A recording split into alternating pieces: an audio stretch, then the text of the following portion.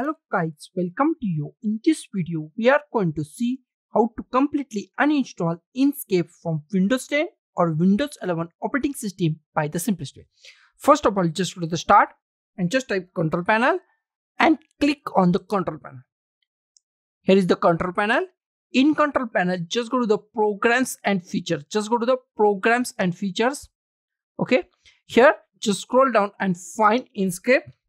Just find Inkscape and just click on the Inkscape.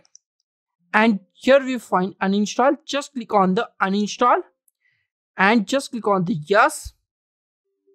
Now just click on the yes. Now our uninstall process is started. It's take few minutes. Now our uninstall process is completed and Inkscape is completely uninstalled from our PC. So guys, this is the simplest way to uninstall Inkscape from Windows 10 or Windows 11 operating system. So guys, thank you for watching this video. Don't forget to like, share, comment on this video and don't forget to subscribe the channel. Thank you guys.